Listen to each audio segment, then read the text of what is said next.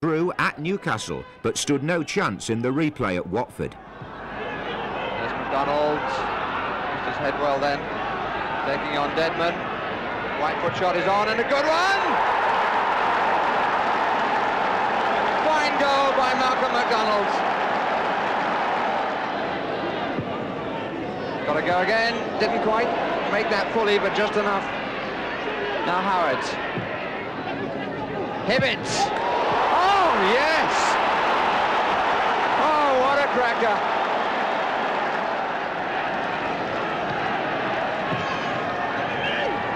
Macdonald off the post, but did he handle it?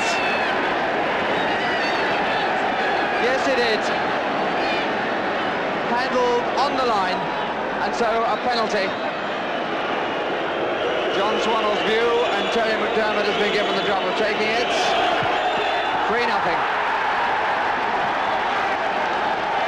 67 minutes gone.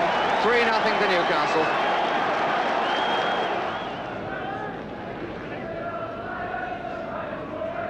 Gibb. Bit of Deadman behind him. Well used to Kennedy. Tudor. 4-0 and no mistake. Then in the fifth round...